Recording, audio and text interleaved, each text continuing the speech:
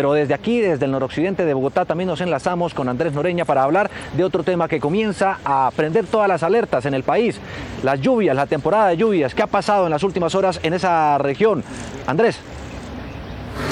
Juan Diego Televidentes, pues el municipio más afectado fue Itagüí, por lo menos de las lluvias que se registraron durante las últimas horas. Observen ustedes este sendero residencial ubicado en el interior de una unidad habitacional aquí en este municipio del sur del Valle de Urra. Si a la hora del aguacero personas hubieran estado caminando por este sendero, pues hubieran podido ser aplastadas por este elemento más que contundente que fue arrastrado por las ráfagas, por las fuertes ráfagas de viento que acompañaron el aguacero de ayer en el sur del Valle de Aburrá. Una valla publicitaria que además golpeó, rebotó contra ese muro contra esa estructura que estamos observando ahí, que es la unidad residencial, generando afectación en varias ventanas, vidrios quebrados, además la interrupción del servicio de gas residencial, también eh, del fluido eléctrico y del acueducto. Estamos con uno de los habitantes de esta unidad habitacional, él es eh, Sebastián Agudelo, ya le vamos a preguntar cuál fue la reacción que ustedes tomaron al ver semejante afectación. Muy buenos días. Andrés, buenos días. Pues realmente fue preocupante porque la valla primero cayó sobre el apartamento de nosotros, estalló varias de las ventanas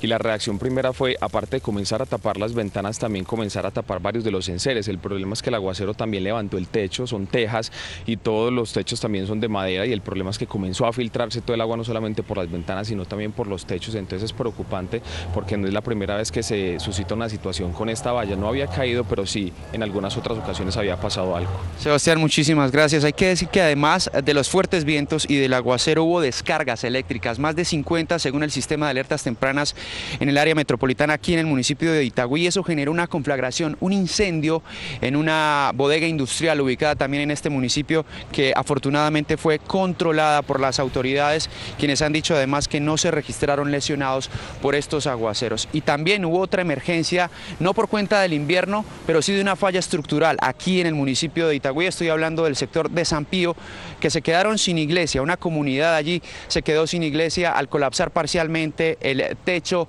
de esta estructura. Humberto Gil es el párroco de la iglesia San Pío en el municipio de Itagüí, en el sur del área metropolitana del Valle de Aburrá.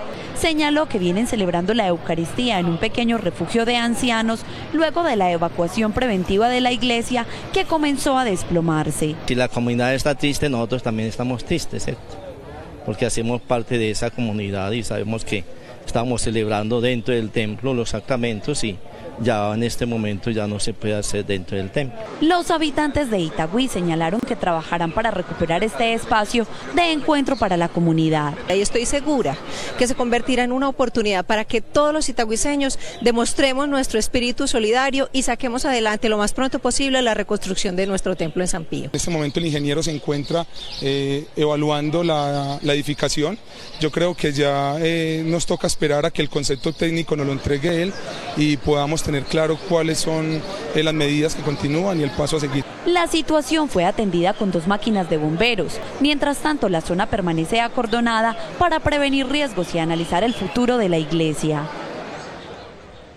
Nos despedimos con información importante. Hay polémica en Medellín por el pedido de la ONU al alcalde de Medellín de desmilitarizar las comunas 13 y 16 de la capital antioqueña. Y también hoy se cumplen cinco años del desalojo de Continental Towers. Recordemos un edificio vecino al Space que fue demolido. Pues hoy arrancará, arrancarán mejor las audiencias orales por la demanda que los afectados interpusieron ante Lérida CDO. Información desde Itagüí, sur del Valle de Aburrá. Andrés Noreña Noticias Caracol.